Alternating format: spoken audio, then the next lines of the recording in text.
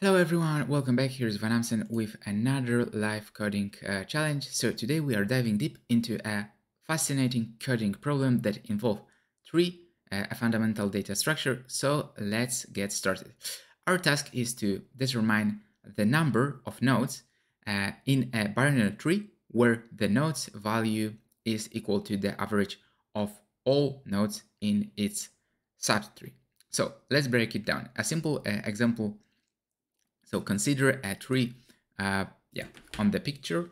So uh, this is a tree uh, with uh, nodes 4, 8, 5, 0, 1, uh, yeah, null and 6 uh, represented. And for example, for a node with a value 4, so this one, the average of its subtree is 4 plus 8 plus 5 plus 0 plus 1 plus 6 divided by 6 not nodes in total, so 24 divided by 6, uh, it's 4.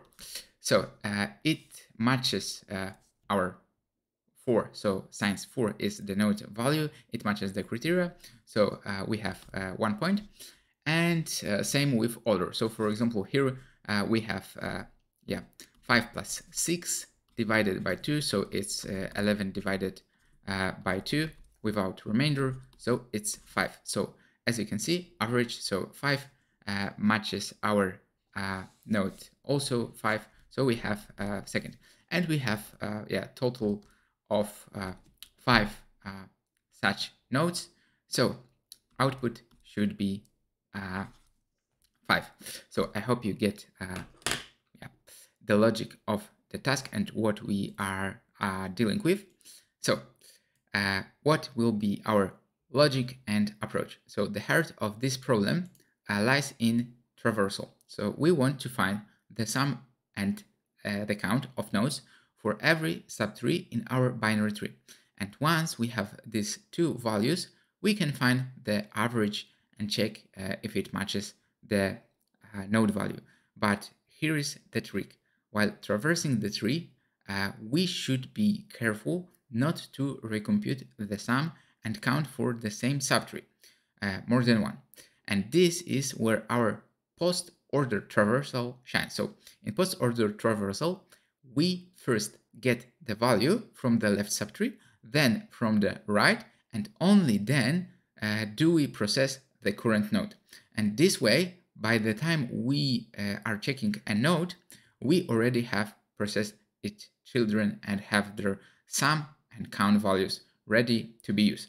And uh, yeah, so uh, we first dive deep uh, to the leftmost node, uh, process its children first, then move to its right sibling, and finally move uh, upward, repeating this uh, pattern. So, and by the time we reach back to the root, we would process the entire tree in a bottom-up manner and this will ensure we have all the required data before we need it, uh, also avoiding uh, redundant uh, computation. So uh, let's code this out. So, so first, initialize the result counter. So result will be zero and traverse node. So non-local result assess the outer functions variable and base case. If the node is null so if not node then return 0 0 return sum and count as 0 and then recursively compute sum and count for the left subtree. So left sum, left count will be traverse node left and similarly for the right subtree. So right sum, right count will be traverse node right and calculate current nodes subtree. So current sum will be node value left uh, sum plus right sum as well. And current count will be 1 plus left count plus right count. So finally, uh, yeah. check if the average matches the node's value. So uh, when we have the average, if current sum uh, divide by without remainder current count uh, equal node value, then result plus one. So if yes, increment increment the result count. So return the current nodes, sum and count for parent nodes to use. So we return count sum and current count. And finally, we start the traversal from the root, traverse root, and also return the final result.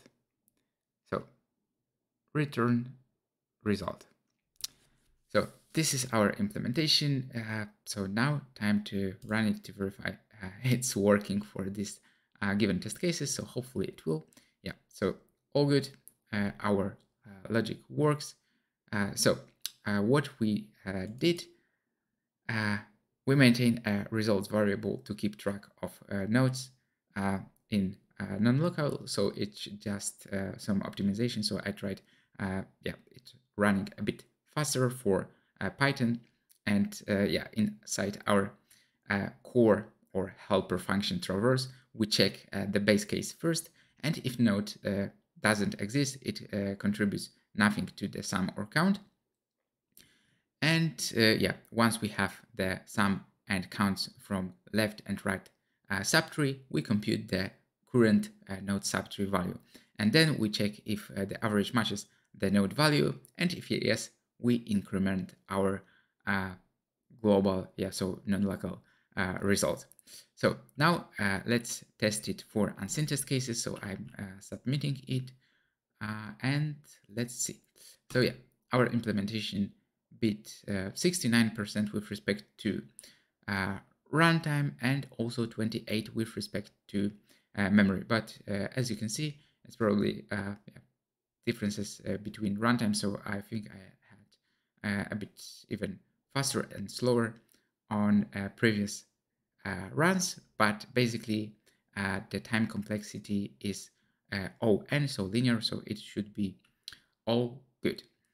so tree can be tricky, but once you get a hang of uh, traversal and uh, recursive logic as well, they become a lot more uh, approachable. So I hope this session provide clarity on this topic and yeah, remember, coding is much about understanding the problem as uh, it is about uh, writing the solution. So always take a moment to break down the problem, uh, sketch out uh, your uh, approach, and then dive uh, deep into coding. So if you found this video helpful, give it a thumbs up and don't forget to subscribe for more coding adventure and much more.